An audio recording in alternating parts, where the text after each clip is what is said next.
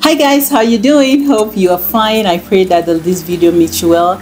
I hope and pray that you're dandy as well. Today i want us to talk about money guys. It's very important. Money the bible says that money is a defense. Wisdom is a defense. Money is a defense as well. And most of the time you know many of us you know we chase after money in such a desperate way that um uh, maybe the things that we want to do with the money is not realized and and all whatnot guys. But i want to tell you that money is good. The lord created money the Lord gave the inspiration for money to be made. It's very good. But, or however, the love for money is the root to all evil. We've had a lot of people that have done terrible stuff, given or maybe sacrificed other people, killed other people because they wanted to be wealthy. Any ill-gotten wealth, you will not, you cannot enjoy it. Any ill or every ill-gotten wealth you will cut your life short, truncate lives, destinies, and people's glory. But I'm telling you, the Bible says that they that wait upon the Lord, you know, if you wait upon the Lord, you begin to mount up on wings as eagle. It's not only in prayers, although it is in prayers also. The Bible says we should watch and pray. It therefore means that if you pray and if you are watching and all those kind of good stuff, the Lord is going to make you prosperous. Remember, the Lord told uh, Joshua, meditate on this word day and night.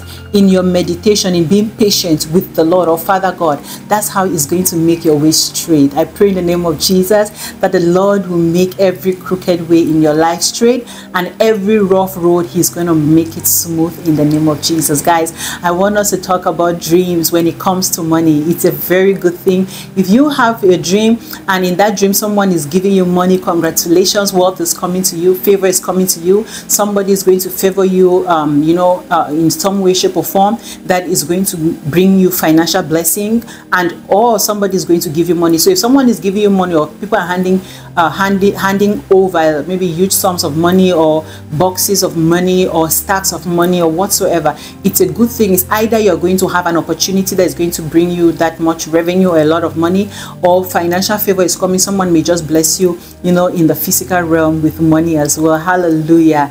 I don't know if you dreamed uh, maybe about you uh, losing money and until you woke up from that dream you have not or you are not able to find that money. That's not a good thing. It therefore means that uh, you will lose money. You know you don't know uh, uh, how things sometimes can play out so if you're doing a business, maybe you are somebody you're expecting money from somewhere in any way, shape, or form, and you lost that money in the dream, and when you woke up, you never found that money or whatsoever, or someone even stole money from you. Now, losing money can either be you lost it by yourself or someone stole from you. If someone stole money from you, be careful. It can be showing that, you know, like I always say, that um, what you see sometimes can be a parable, and sometimes what you see, it can be just a representative of either maybe someone is stealing from you can be just whatsoever. You know it just depends on the whole storyline of that dream. So if so, if you lost money or someone stole money from you get ready. If you're not careful and if you don't pray very well maybe take a fast do a vigil pray cancel that. You are going to lose money if you're not careful. If you're a business person maybe the business that you're doing you know it may not be so good. Or someone if you're working with that person the person may and is stealing from you as well. It could be now or in the future. So you have to be very careful. You have to pray get on a fast if you can to cancel that as well. And now if you also see yourself remember we've talked about you know someone giving you money if you see yourself throwing money and all whatnot. And if you also see you know maybe money and maybe a rat is eating the money that's bad. There's a spirit of a devouring spirit as well around you that is making you poor and that's poverty spirit. The bible says that we must rebuke the devourer. The devourer is the enemy. Nothing good can come from him. So if you are listening to me and that's what you're going through know that there's a spirit of devourer around you. Make sure as well there's something i should have said from the beginning. Make sure you're paying your tithes. The bible says that that if we pay our tithe, if we give that unto the storehouse of the Lord, the Lord is going to rebuke the devourer. It therefore means that the devourer will be rebuked when you begin to do the things that you're supposed to do. Hallelujah. Now, if you see yourself with torn money, maybe someone tore money and gave you, or someone uh, uh, uh, or you yourself you just realize that the money you have or the money in your possession is torn money that's not a good dream that's also bad it's poverty setback and all those kind of things and that's uh, recklessness and also the fact that you know if money is torn you cannot use that money the money is like good for nothing you know so uh, sometimes you can also have that kind of money like that and you realize that you cannot do anything with it so sometimes you can have potential and glory but whatever it is that you know you, you want to do will just not amount to anything so i just want you to to know that you have to be careful. If you see yourself with ton money, you need to get up and pray. As well, that's the spirit of poverty and uselessness, carelessness. You know i want you to also know that if you see yourself uh, maybe picking money from the ground that's not a good thing. Well depending sometimes on the context of it. Um, let me say for example if you're fighting with somebody and uh, maybe they throw coins to the ground and you have to pick from there that's not good.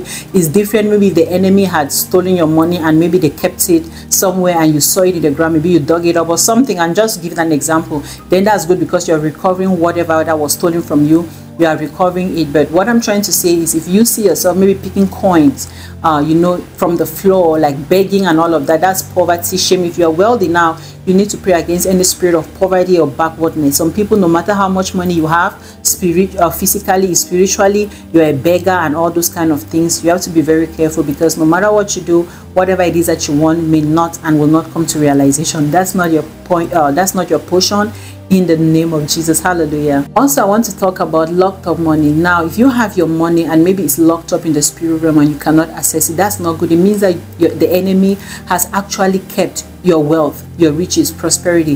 They've actually tied it up. So you need to pray that it should be released. Now, if you see your money in the bank and now there are two ways let's say you go to an atm or something you maybe try to swipe your card you cannot withdraw money that's bad because the doors of your financial favor has actually been blocked has been aborted. So you need to pray to open or they have been closed. So you need to pray to actually open it. Hallelujah. Another thing is if you see yourself at the bank and maybe um maybe there's a line or a queue or something you are not able to withdraw money as well that's not good you know that spirit of frustration that's also spirit of uh, uh, disappointment also when it comes to your finances. You need to pray to actually uh, uh cancel that because if you're in the line let's say at the bank and almost everybody is getting money and when it's your turn they send you back that's not good as well. You need to pray to cancel any attack against your finances. Another thing guys i want to talk about is if you see yourself. Now maybe someone hands you over to you money that is already burnt or you see that you have money maybe huge stacks of money and then the money gets burnt.